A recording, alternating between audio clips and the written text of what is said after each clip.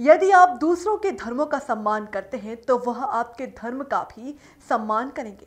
एक ऐसा ही मामला बुल्ढाना से आया, जहाँ एक हिंदू अवलिया अधिकारी ने मुस्लिम धर्म का पूरा रमज़ान रखते हुए देश में सभी धर्मों को यह असाधारण संदेश दिया। भारत विभिन्न जातियों और क्षेत्रों का देश है, और सभी सद्गुणों द्वारा एक दूसरे के धर्मों का सम्मान किया जाता है। वर्तमान में मुस्लिम इस महीने में रमज़ान मनाते हैं। इसी कड़ी में एक अवलिया अधिकारी ने रोजा रखा और देश में सभी धर्मों को यह असाधारण संदेश दिया है। उन्होंने कहा कि यदि हम दूसरों के धर्मों का सम्मान करते हैं तो वह अपने धर्म का सम्मान करता है। उन्होंने यह भी कहा कि सभी धर्म के लोग शांति से रह सकते हैं।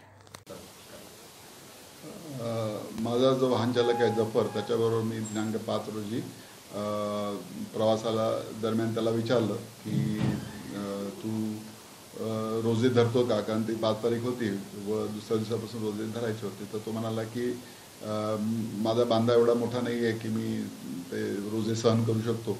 म्हणून तो म्हणाला की मी काय रोजे धरत नाही. तर मी मी म्हणाला की मी तुझ्या वतीने रोजे धरू का?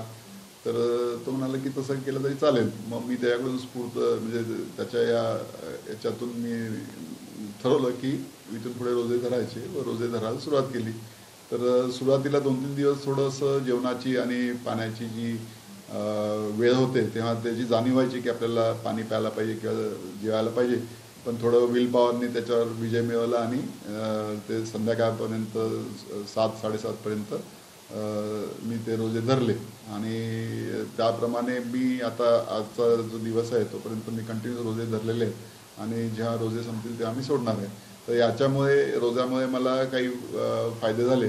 त्यातला एक म्हणजे सकाळी लवकर उठावं लागतं ही एक चांगली सवय. दुसरी गोष्ट म्हणजे सकाळी खाल्ल्यानंतर दिवसभर काम करताना त्याच्यातून मिळणारी ऊर्जा पूर्ण दिवस अतिशय उत्तम प्रमाणे मिळत आहे आणि प्रसन्नताही मिळत आहे. आणि मला खूप आनंदी वाटते मुख्य म्हणजे हलकं वाटतंय. आणि मला माहीत नव्हतं की रोजे केल्यामुळे एवढे फायदे होतात.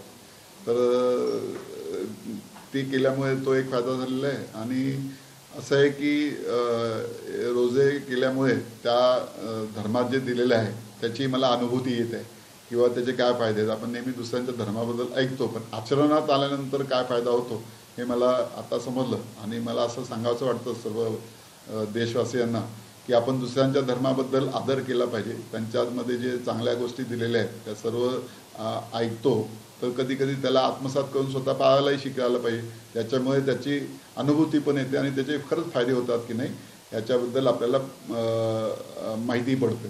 तर अशा तऱ्हेने जर आपण एकमेकांच्या धर्मांचा आदर केला तर आपल्याला निश्चितच एकमेकांबद्दल आदर निर्माण होईल. कारण भारत हा वेगवेगळ्या जातींचा धर्मांचा परंपरेचा आहे.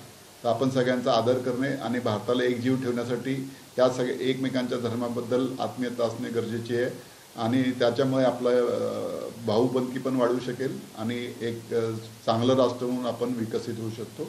आणि सर्व जगासमोर आपण हे एक प्रतिकात्मक म्हणून दर्शवू शकतो. धन्यवाद.